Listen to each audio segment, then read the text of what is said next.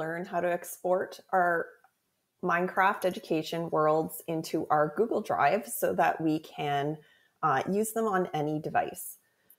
So the first thing that I'm going to do is I'm going to log into Minecraft.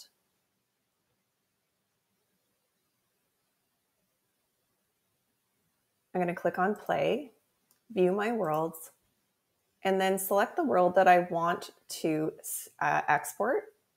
In this case, it is this one. I'm going to click on manage, and then I'm going to click on export.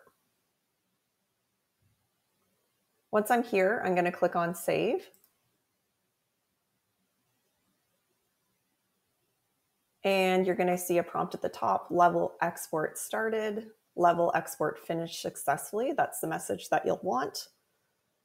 Um, I've created a folder in my Google Drive called Minecraft. It's a good idea to put all of your saved worlds in a specific folder. So now that I'm in my folder, I'm going to click on New, and then I'm going to click on File Upload.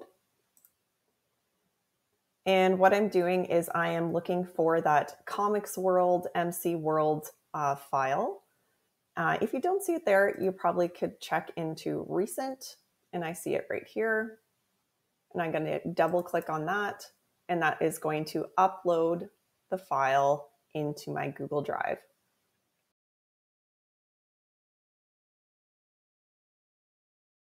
So now that it's in your Google Drive, if you're using a different device and you wanted to import that world into Minecraft, you'll need to go back into your Google Drive you're going to right click or a two finger tap on your trackpad.